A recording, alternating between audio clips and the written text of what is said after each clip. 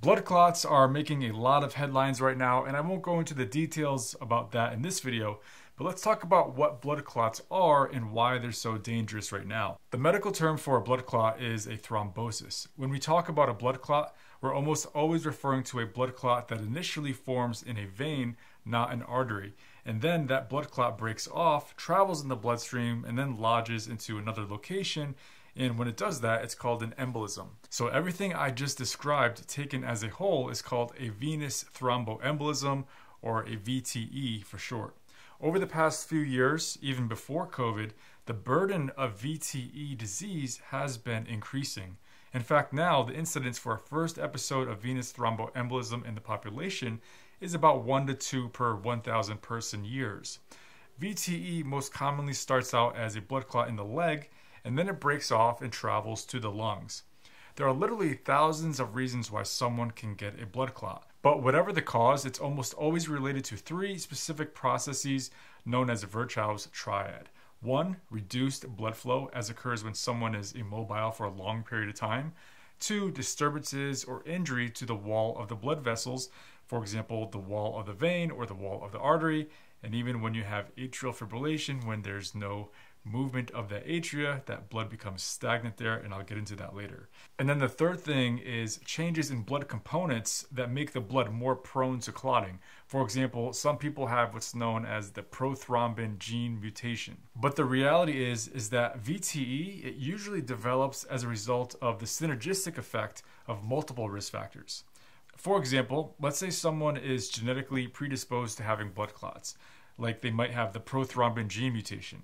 And if that person becomes immobilized for a long period of time, like if they're on a long road trip or if they're on a long plane ride, or maybe they have surgery where they're not, where they're not able to get out of bed for a long time, well, that person is much more likely to develop a blood clot when you start adding on all those risk factors.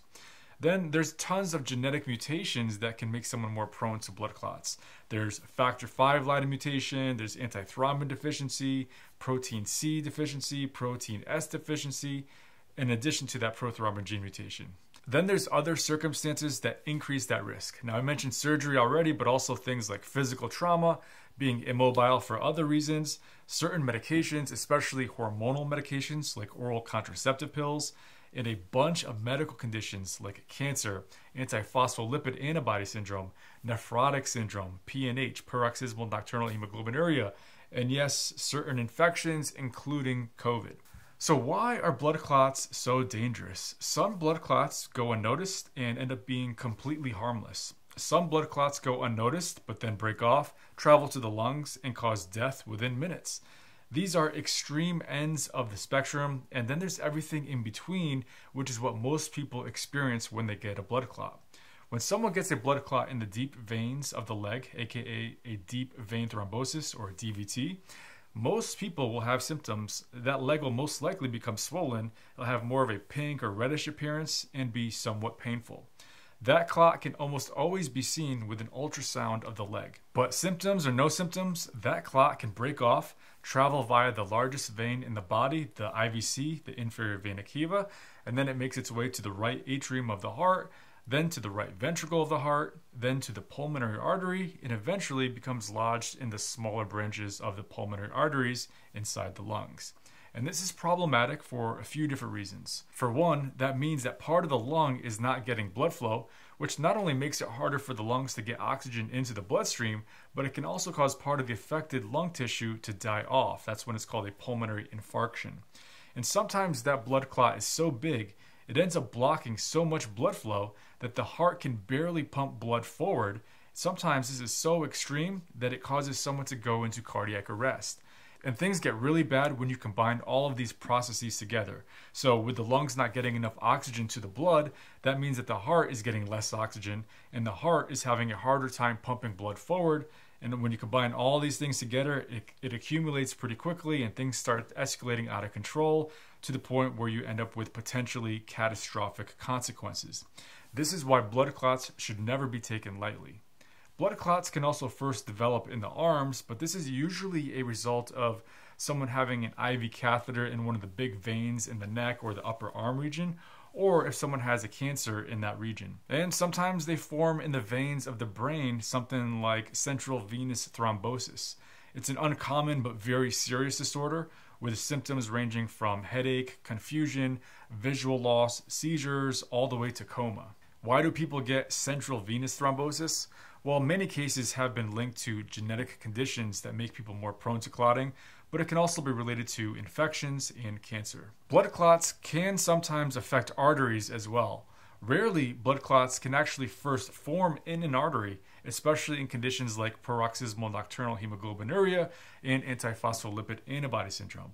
More commonly, though, blood clots can be found in arteries as a result of one of two scenarios. One is what happens when people have atrial fibrillation. Now, in this condition, the blood in the atria of the heart, especially in that left atrium, it becomes stagnant as a result of loss of that atrial pumping that occurs in this condition.